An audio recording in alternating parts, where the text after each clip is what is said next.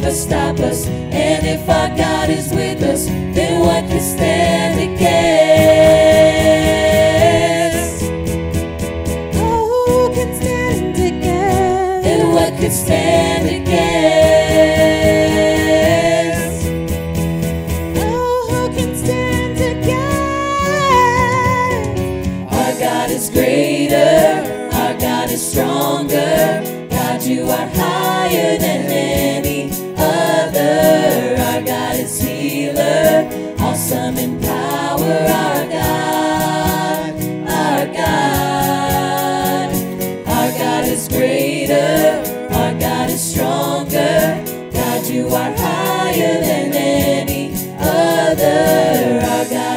healer, awesome in power.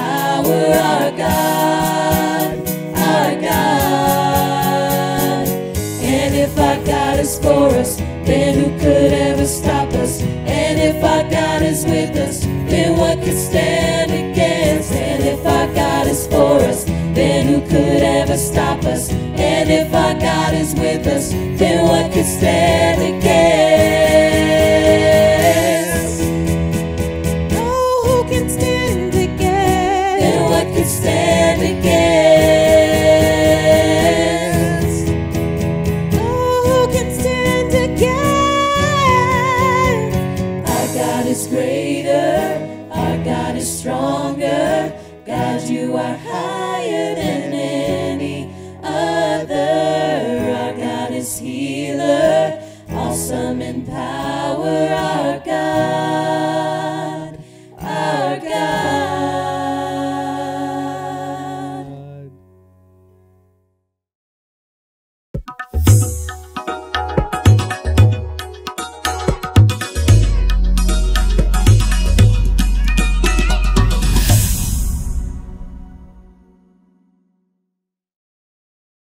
Friends and family of Valley Christian. My name is Lester Meade, and I'm super excited to because today is my first opportunity to share a lesson in 2023. And just as a reminder, our theme for this year is courageous. And that comes from 1 Corinthians 16, uh, 13, and 14. Scripture reads, Be on your guard, stand firm in the faith, be courageous, be strong, do everything in love. Uh, now, a great model uh, for courageous uh, has been uh, one of my friends, Delano Stewart. The first service of this year, uh, we recognized him for uh, being a minister in Valley Christian for 10 years. So it's a pretty big deal since a lot of times, especially in our family of churches, ministers don't stay at one church for uh, definitely not 10 years. So it's it's not very common, but the, the consistency of service, of giving, of relationship, of sharing the word uh, has been uh, seen in his life and in Nadine as well. Because obviously, if Delano's been here for 10 years, Nadine's been here for 10 years, and they both served uh, in an amazing way. But uh, he was uh, recognized in the first service uh, of the year. so it was a really great kickoff, as well as our theme, Courageous. what we're going to talk about today is courage in the body of Christ. If you want to keep it with a theme, it would be courageous in the body of Christ.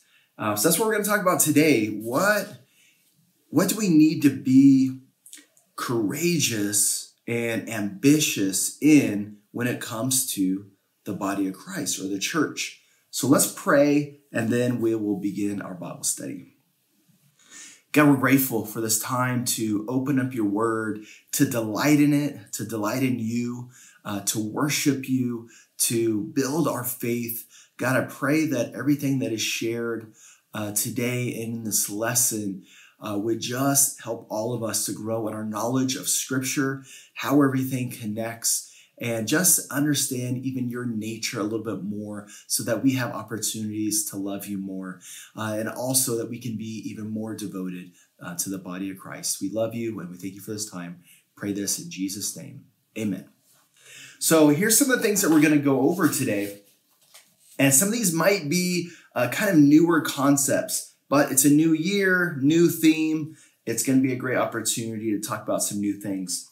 One of the things that we're going to talk about is divine patterns. And this probably isn't something that you've heard before, but the reason why we're going to go over some of these patterns is to really share that God brings order into chaos. So we're going to see some things in scripture that provides an order, a reference, a pattern uh, for us to uh, gain encouragement from and also uh, have a, a, deeper sense of faith and understanding. Um, we also, the, the, the point of it also is to see that God has a plan for us and he's had a plan for us uh, since the beginning. Another thing we're going to go over is Eastern and Western theology. Uh, I love to discuss uh, theology. I love to talk about it because it's really the study of the nature of God and who God is. And it's really helps us to understand how we can connect to the spirit and not be so bound to the flesh. Uh, another thing we're going to talk about is early church teaching.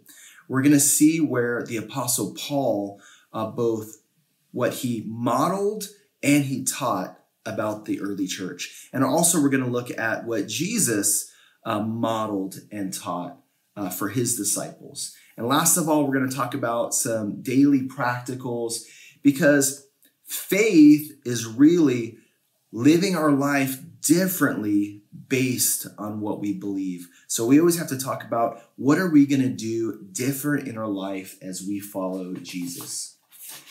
So when we get into theology, we're going to talk about um, some patterns that the, the Christian man and woman can reflect on in order to have some kind of, not necessarily a measurement, but some kind of an idea of forward momentum to understand God more or to gain uh, enlightenment, to gain uh, greater understanding, uh, ideally a closeness to God, and to have the opportunity to be in His presence.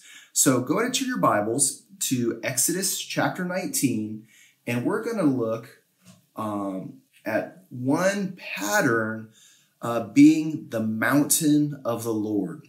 Now, there's a lot of things that are going to connect here um, from the New Testament if you know about the, the transfiguration of Jesus, it's in Matthew uh, 17, where Jesus takes Peter, James, and John uh, up to uh, a high mountain And there he is transfigured before them. He, he begins to glow. He's radiant. Uh, God speaks. Moses and Elijah uh, appear there. And um, the uh, apostles, three apostles, were witness to all this. And uh, Elijah's significant because uh, he went up to uh, Mount Horeb where God spoke to him. Uh, and also, we're going to read in Exodus 19 where uh, Moses is um, at Mount Sinai, where um, he gets the, the Ten Commandments. He speaks to God, God speaks uh, to him.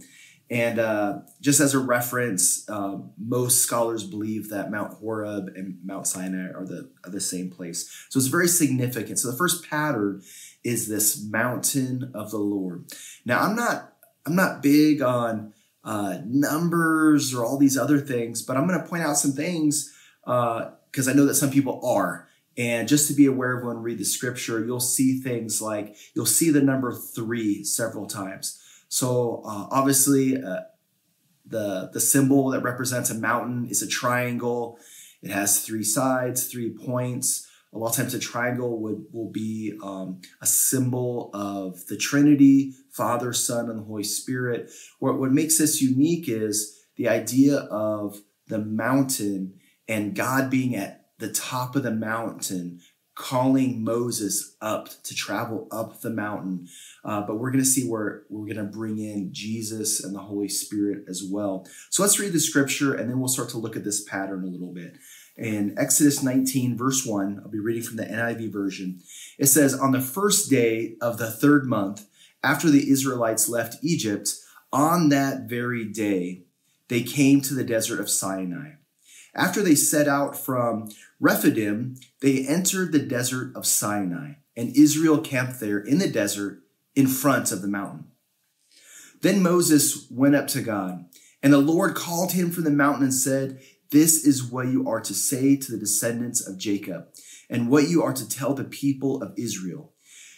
You yourselves have seen what I did to Egypt, and how I carried you on eagle's wings and brought you to myself. Now, if you obey me fully and keep my covenant, then out of all the nations, you will be my treasured possession. Although the, old, the whole earth is mine, you will be for me a kingdom of priests and a holy nation. These are the words you are to speak to the Israelites.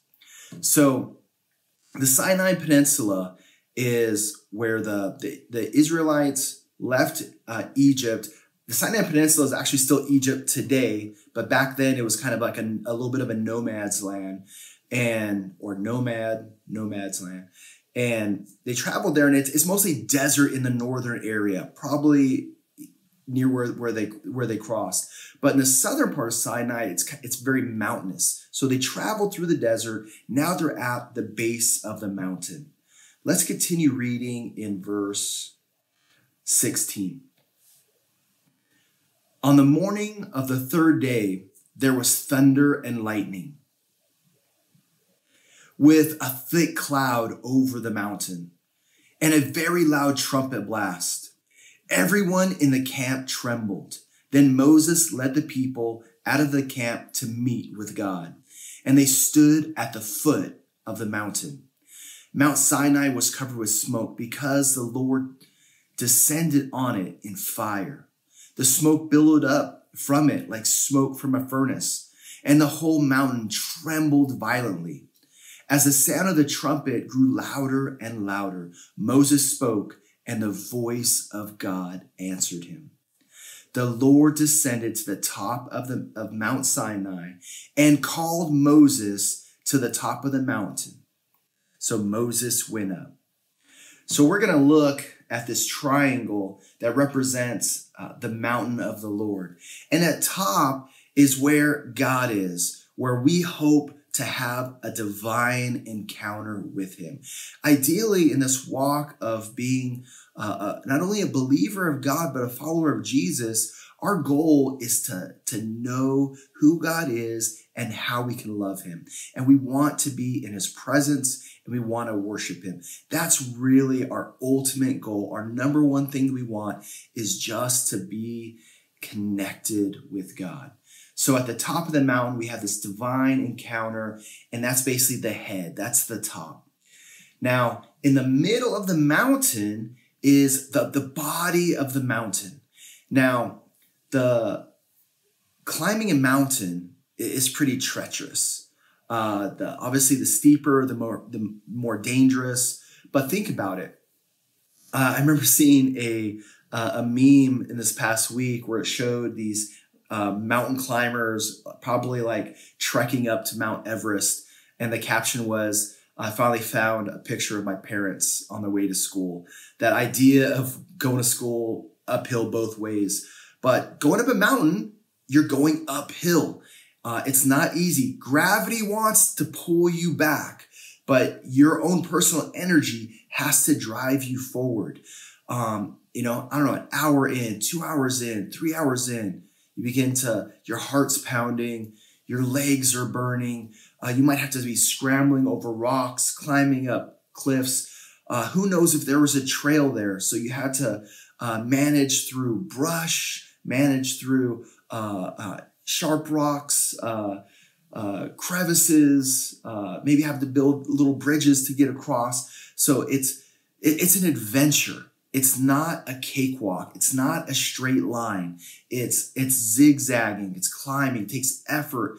It takes uh, it's strenuous. It could take all day. It could take multiple days. Take many hours, depending on the size of the mountain. But it really shows our life living in the church we go through a lot of ups and downs, encouragements, defeats, discouragements, victories. So it's it's a it's a it's an adventure. It's a it's a trek. But that middle part of the mountain, that journey is kind of the journey of our life as a disciple of Jesus. Then at the, the foot of the mountain, uh, we have what represents uh, the division between the spirit and the flesh. Because going up the mountain is a spiritual journey. We're hoping for spiritual transformation, spiritual enlightenment. But at the bottom, there's the temptation of the flesh. Um, now, this part's really significant. Actually, the foot of the mountain is the area of the desert or the land before the mountain. So as soon as the it starts going up into the rocks into the mountain, that's the mountain, that's the body. But that's that that dividing line beyond desert and plain up into mountain. That's the, the foot of the mountain. Now, this is really significant.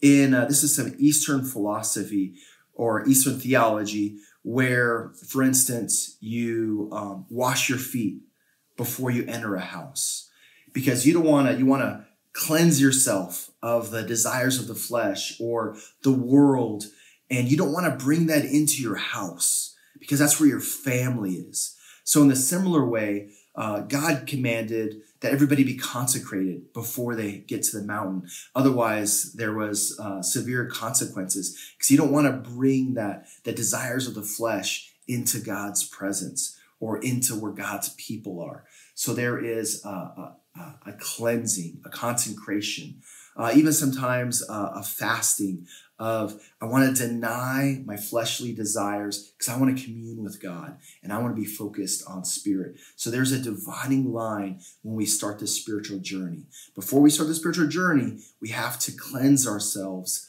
of the, the desires of the flesh. So one of the one of these um, diagrams is basically the mountain of the Lord, one of these divine patterns. Uh, another one is a ladder. Um, a lot of the and a lot of these patterns you see in early uh, church history, Renaissance. If you look at the art uh, in the last two thousand years, you'll see the mountains, you'll see ladders, you'll see angels coming up and down. So the in the ladder diagram, this represents Jacob's ladder, and this is from Genesis twenty eight. We're not going to uh, uh, read the scripture, discuss it too much in detail, but I just want to be able to show uh, the pattern is there's a progression of spiritual growth. Uh, also, you might recognize it maybe Stairway to Heaven. This is where uh, Jacob fell asleep, had this vision of angels uh, coming up and down off this ladder. But really, the, the top represents uh, the spirit, spiritual enlightenment, living by the spirit. Uh, the middle uh, actually has, in the tradition, is it has uh, seven uh, rungs of the ladder as you uh, gain virtue, as you're climbing the mountain, as you're becoming spiritually enlightened, as you're being a follower of Jesus. Um, you're gaining this virtue. And, and the middle part, climbing the ladder, also is a representation of the church. Uh, near the bottom of the ladder, we have the flesh. Is you got to leave the flesh and get up on that first rung to start growing spiritually. But the ladder also represents ambition. And not necessarily a bad ambition or selfish ambition, but an ambition to know who God is, an ambition to, to connect with God and be able to live uh, by the Spirit. So, another pattern, and this is pretty familiar uh, to our church family, especially uh, recently, is this maturity will. Now, in the maturity will, it starts off uh, basically of unbelief, um, living by the flesh, um, not knowing, just just doing whatever you want, living whatever the, how the world dictates or how society dictates. And at some point, we desire to know who God is. We study the Bible, we learn what it is to be a disciple, and we're baptized. It's that consecration, it's that cleansing. Baptism is not a symbol. Baptism is a decision by faith to no longer live according to the principles of the world, but to live by the Spirit and as a follower of Jesus. And that's where our sins are forgiven and we live in God's kingdom, like what he shared about uh, with Moses. But we see in this will when you're after you're baptized, uh, you, have the, the spiritual maturity of an infant. It's like you're at the, the base of the mountain or the bottom rung of the ladder. You're still learning and then you start to grow and you're you're you're like a child just like a sponge just teach me, teach me, teach me, teach me. And then you're like a young adult, like you've been around for a little bit. You're a little bit more mature. You're looking for ways to serve. You're looking for ways to engage your personal ministry. And then eventually you get to a point where you are a parent and you're ready to look after other people and teach and train other people, help other people to know God. And uh, so that's when that's uh, uh, probably most common for us recently here at Valley Christian. And uh, John 15, that's a where Jesus says that he is the vine, that we are to remain in Jesus. So, in order for us to, to be spiritually mature, this is super, super important. We have to remain in Jesus. We have to be living as a disciple, as a student of Jesus. And the last pattern we're going to look at is the pattern of the human body. And so the top would be the head of the body is Christ, is Jesus uh, he is the head he has all authority. He lived a perfect life. He died for our sins. He sits at the right hand of God. He is the head of the body. And that's where we're, we're hoping to imitate. He modeled everything for us. Um, so if he's the head, the, bo- the, the body of the body is the church, the body of Christ. And that's where we are. And at the bottom, at the feet, that's where the world is. That's where the world is, is ever present, letting us know, uh, you know, right where it's at. And our challenge is to keep ourselves from being polluted by the world, washing our feet, uh, not not letting the the idea of the, the foot of the body is like the dirtiest part. That's the part that you clean when you when you enter a home or enter a dwelling. So we always have to be aware when we're out in the world what we're bringing back into our homes, what we're bringing into the church. So, for um, most of the Bible scholars, they could tell by that last diagram that we're going to read Colossians. So, let's read Colossians chapter 1, and we'll look at some scriptures about the body of Christ, really based off that last diagram. But all the all those diagrams basically are communicating, communicating the same thing, but throughout the generations, different patterns were used uh, to really represent spiritual growth. Uh, but uh, as a church, it's the the image of the body is going to be uh, one of the, the more helpful ones. So Colossians chapter one, we're going to read verse fifteen. Chapter one, verse fifteen. Actually, we'll start in verse 50. Yeah, verse 15. The Son is the image of the invisible God, the firstborn over all creation. For in him all were created, things in heaven and on earth, visible and invisible, whether thrones or powers or rulers or authorities. All things have been created through him and for him. He is before all things, and in him all things hold together. And he is the head of the body, the church. He is the beginning and the firstborn from among the dead, so that in everything he might have supremacy. So a lot of this is representing why Jesus is the head, why in that pattern he is at the top, because we're all to learn from him and to follow him and to imitate him. And it's really interesting in the very beginning where it talks about he is the image of the invisible God. And it's interesting where you have an image, you think that you would be able to see something, right? And because, you know, we saw Jesus, he was in the flesh and he lived but of the invisible God, really showing that the whole goal of all these patterns is the spirit.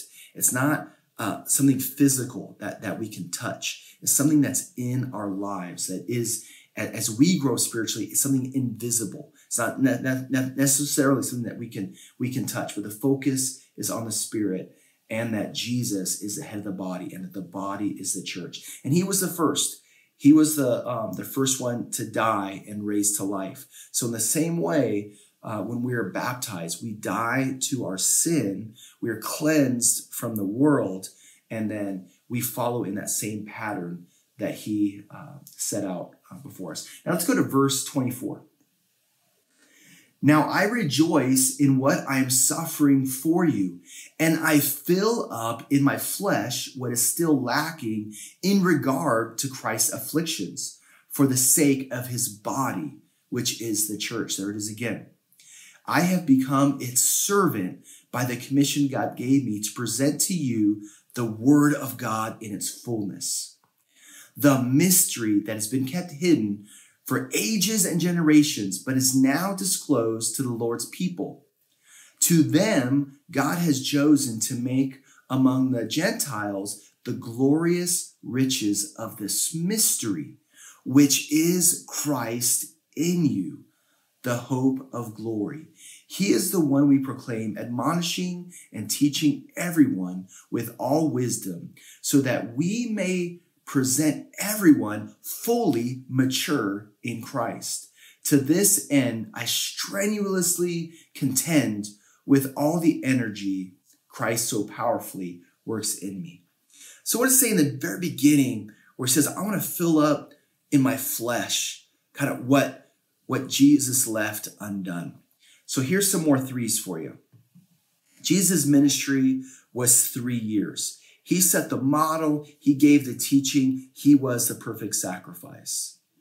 But building the church went to another group. And Paul was one of those, where Paul's ministry was over 30 years.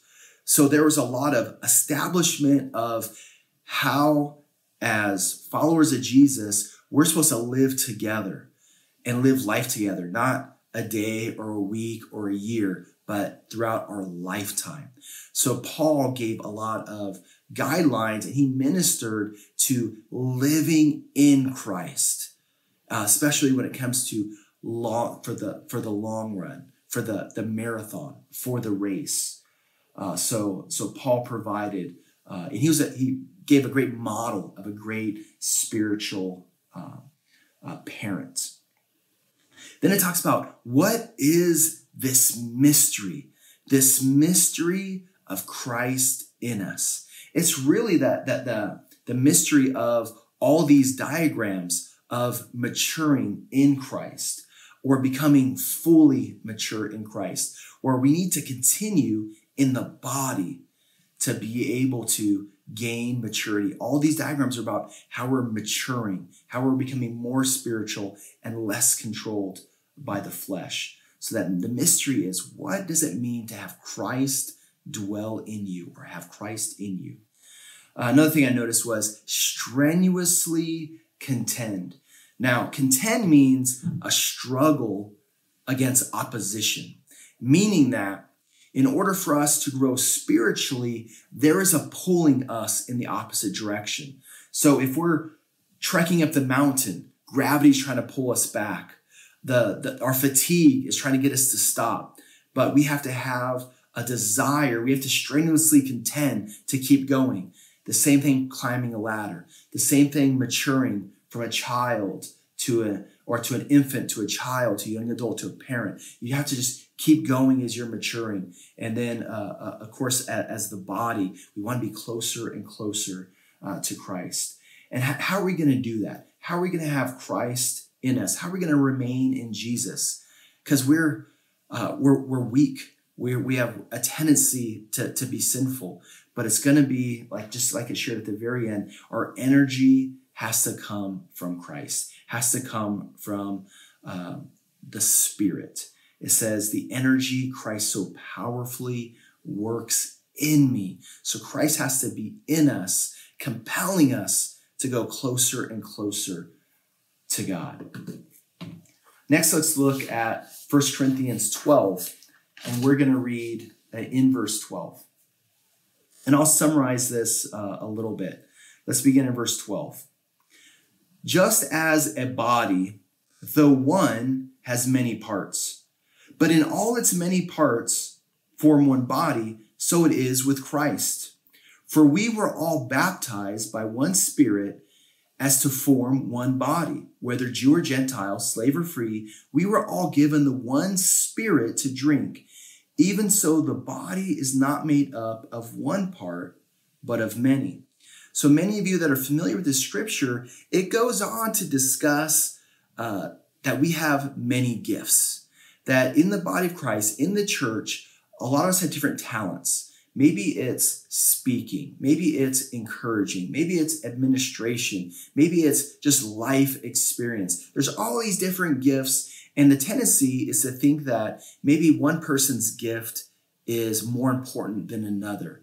Or there is, um, uh, because I have these abilities or gifts, I don't need anybody.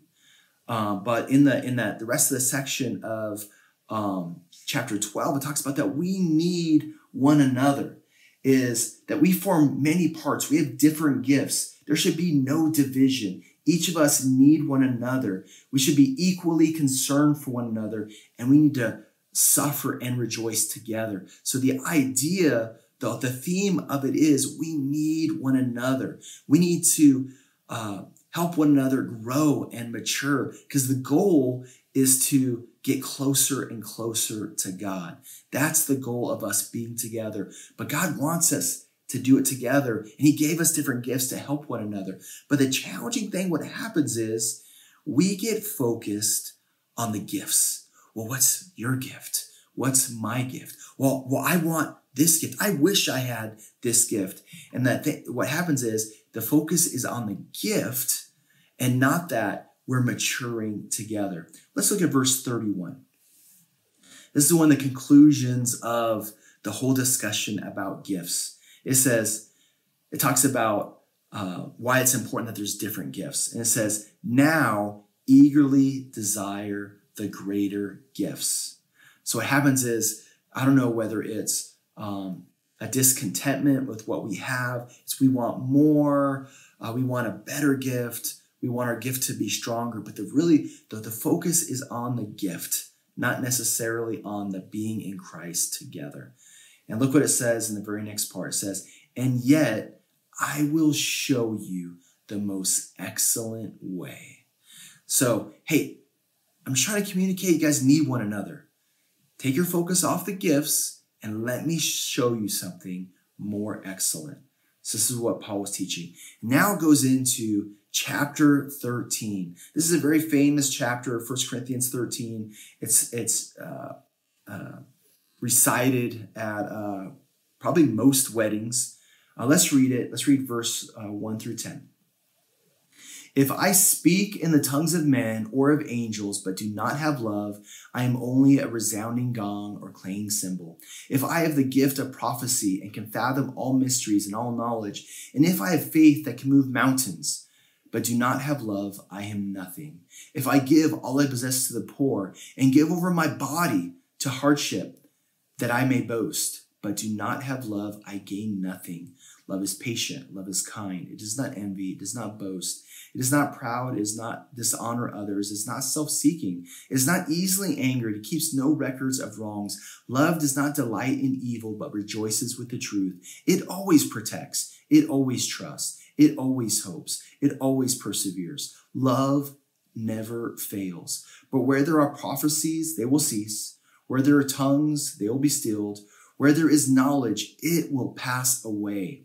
For we know in part and prophesy in part, but when completeness comes, what is in part disappears. The hope of being in the body, of being in the church, having our sins forgiven, being cleansed, being consecrated, so that we can start this journey. It's meant to be done together within the body. So, in order for us to get closer into God's presence, it's got to take place through the body. So, what we need is love. We need those gifts. Probably in a couple weeks, I'm going to do a lesson on being courageous in embracing our gifts. Uh, but I'll leave that for a couple weeks from now. Right now, I want to emphasize that love is more important than gifts. I think that's what this scripture is communicating. Because while we're in the body, we need to help one another to get closer to God. So it's not knowledge, it's not prophecy, it's not these other things that are going to get us into God's presence. It's going to be love for one another. So let's see what Jesus shares uh, when he modeled uh, and taught his disciples about how to get closer to God. In John 8, 31 and 32, this is a very popular scripture. It says, To the Jews who had believed in him, Jesus said, If you hold to my teachings, if to my teaching, you are really my disciples. Then you will know the truth, and the truth will set you free. What, what do we need to know the, the truth about? We need to know the truth about the mystery. What's the mystery? What does it mean to be in Christ? And he says, if you want to be my disciples, it's not just belief. You don't just have to think in your mind, yes, I believe that God exists. Yes, I believe that Jesus is God's son and he died for our sins. But we that belief should lead us to faith where we change our actions, and those actions are following the teachings of Jesus. So, what's the most important teaching of Jesus? Well, of course, he shares that to love God and to love our neighbor. But then he shares this in John 13, 34 and 35. And this is something new that he's bringing. And love has been around. We're supposed to love God and love our neighbor, but he gives something new. This is a specific command in the body of Christ.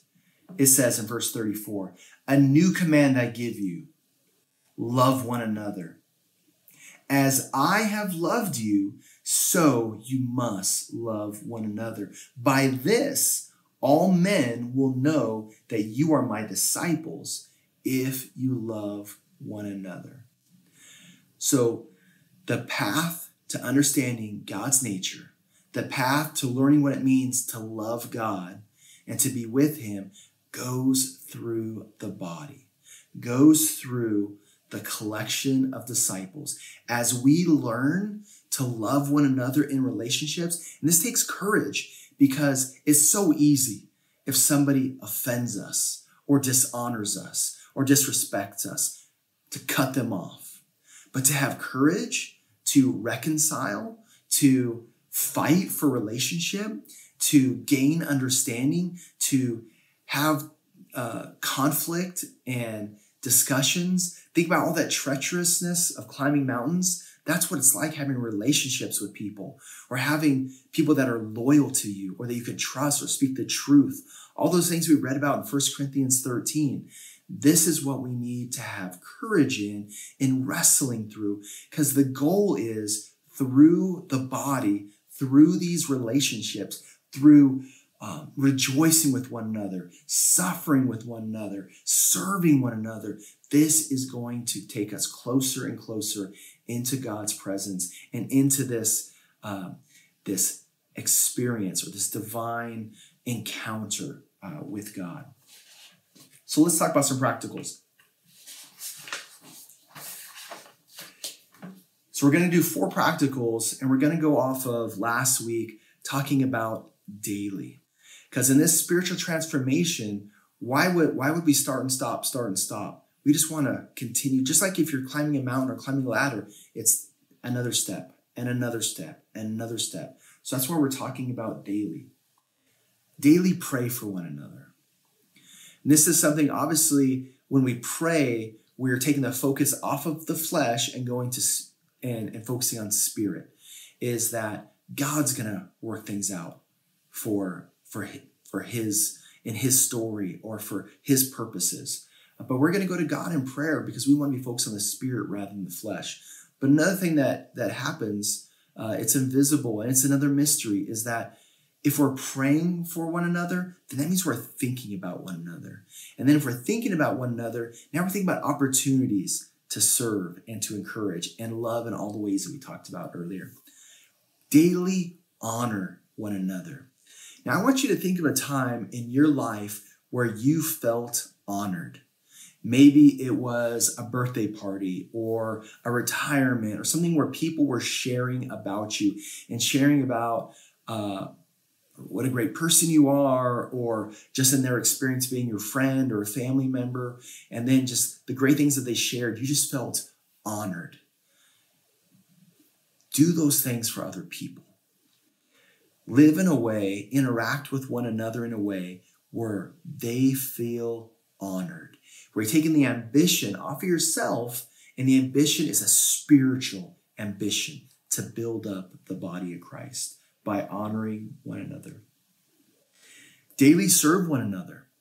Now, serving is when we give both our time and our energy. And the same thing, the, the, the focus is off ourself and our flesh, and the focus is on spirit as we look for opportunities to serve one another. And you might think, daily? Uh, how am I serve one another daily? Sometimes it's the small things sending an encouraging text message, a, a, a phone call, uh, sometimes one way of serving is just praying and, and, and, and let God, God meet the need uh, in spirit. But look for opportunities to daily serve uh, one another and daily share the word with one another. Is if we're building up the body, if we're helping one another to focus more on the spirit rather than the flesh, if we're going to have courage in the body of Christ, we got to share the word. We got to share the scriptures. We got to build people up with the scriptures because that's how we're going to mature in Christ by knowing his teachings more and more, talking about them, sharing about them, encouraging, challenging. Um, but let's daily share the word with one another. What we're studying on our own, let's share it with our brothers and sisters. So I want to encourage you to have courage in the body of Christ, to know that that spiritual maturity is the path to having that divine encounter with God and coming into his presence and just growing in our spiritual maturity. Let's pray. God, we're so grateful for this time of Bible study to learn the mysteries that are in this huge book uh, of teachings and storing and stories and uh, clues of your incredible divine nature that we want to explore and know more about. God, help us to be cleansed from the world. The world pulls at us, it wants us. Even in our bones, it desires to do whatever it wants. And it just wants to do what everyone else does or whatever society dictates. God, help us to wash that part of our body, wash our feet uh, to really grow in our understanding of the Spirit. God, help us on this amazing journey as we climb the mountain, as we get closer to you, as we strive to become more virtuous, to have better character, to be able to imitate uh, the life of Jesus and his teachings. Help us to understand those teachings more. Help us to love people more, especially uh, fellow believers and, and fellow followers of Jesus. God, that we would treat them with special honor as we build one another up. Uh, we're continuing that journey to get closer and closer to you, learning how to love you more and more. God, I, pr- I pray that you're pleased with us. Just like when, when Jesus was on the mountain and he was transfigured and he glowed with just uh, love and energy and spirit. God, we want to glow as we get closer to you because we want you to say to us, Well done, good and faithful servants. Help us to serve and suffer and give and rejoice with our brothers and sisters as we get closer to you. We thank you for this time of study. We love you. Praise in Jesus' name. Amen. Have a great week.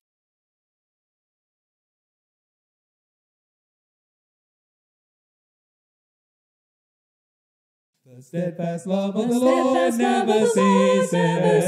His mercies never His come mercies to never an come to an end.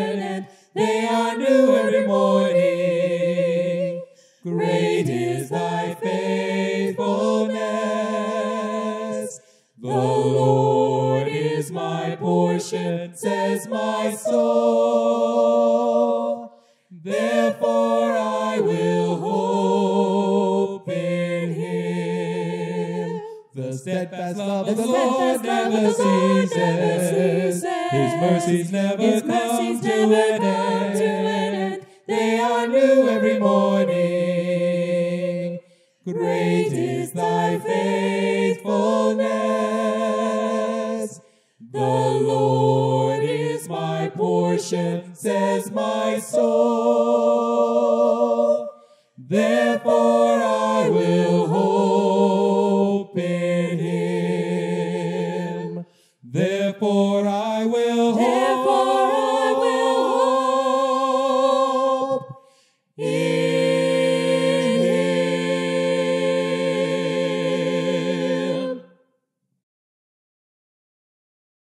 be turning in our Bibles to Colossians 1, verse 15 through 20, and I'll be delivering the Lord's Supper message this morning.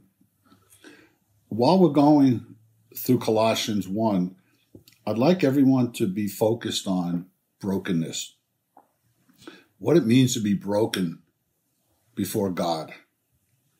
And when was the last time that you were actually broken? Before the cross.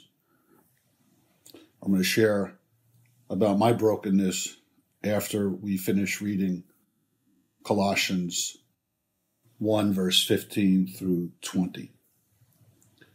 The Son is the image of the invisible God, the firstborn over all creation. For in him all things were created, things in heaven and on earth, visible and invisible whether thrones or powers or rulers or authorities. All things have been created through him and for him. He is before all things, and in him all things hold together. He is the head of the body, the church. He is the beginning and the firstborn among the dead, so that in everything he might have the supremacy. For God was pleased to have all his fullness dwell in him, and through him to reconcile to himself all things, whether things on earth or things in heaven, by making peace through his blood shed on the cross. What a powerful scripture. For me, the last time I was broken was actually this week.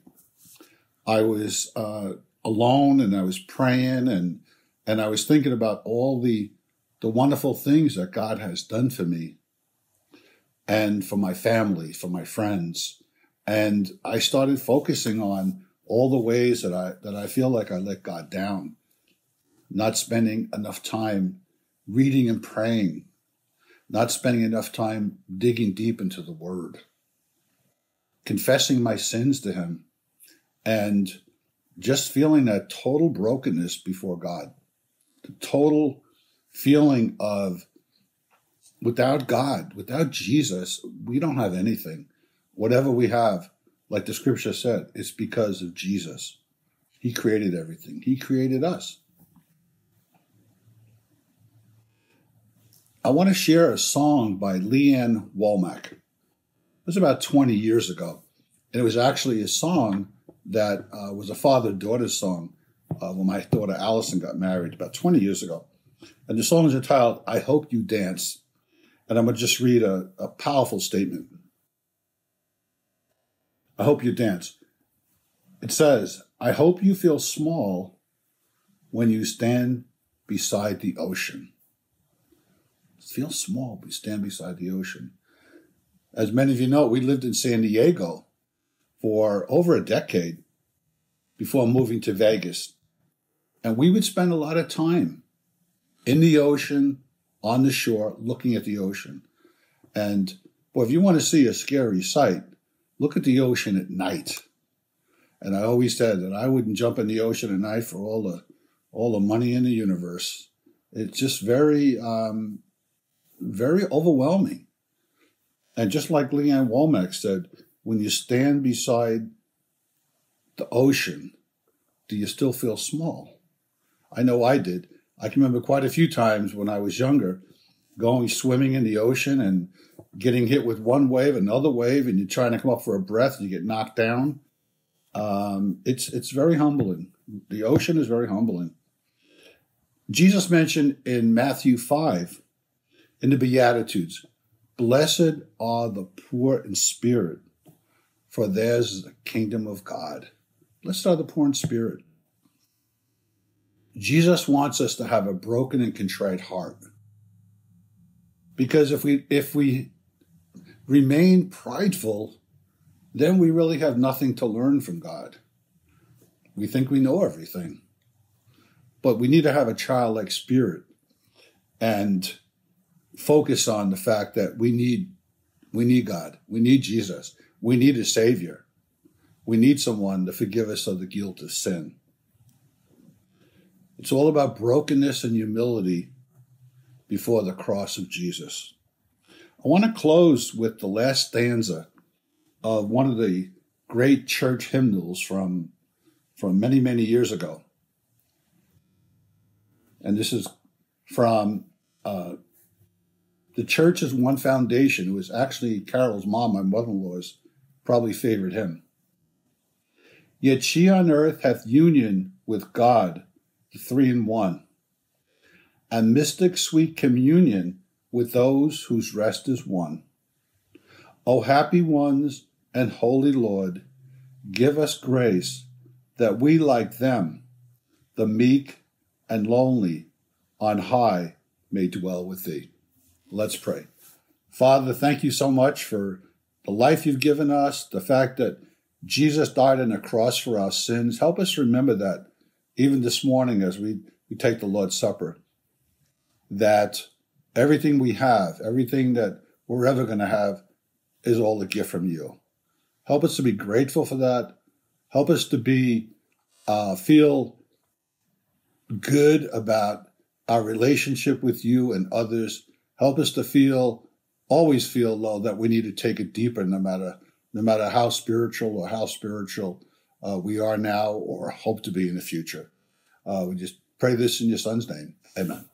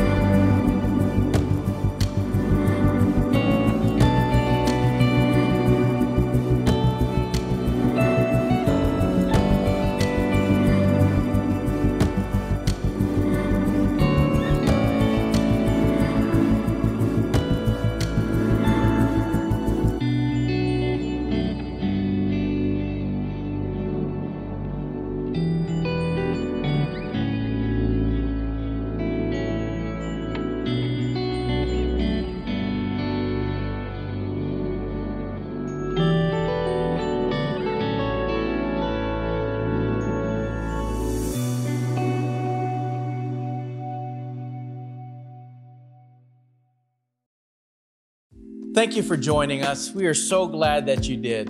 If you want more information about Valley Christian, please go to valleychristians.org. That's valleychristians with an S.org. There you can find more information about us. You can sign up for Bible studies. You can get more information about small groups around the valley if you would like. And you're also able to give online if you would like to do that as well. Again, we are an imperfect people serving a perfect God. Let's journey together. God bless, and we'll see you next time.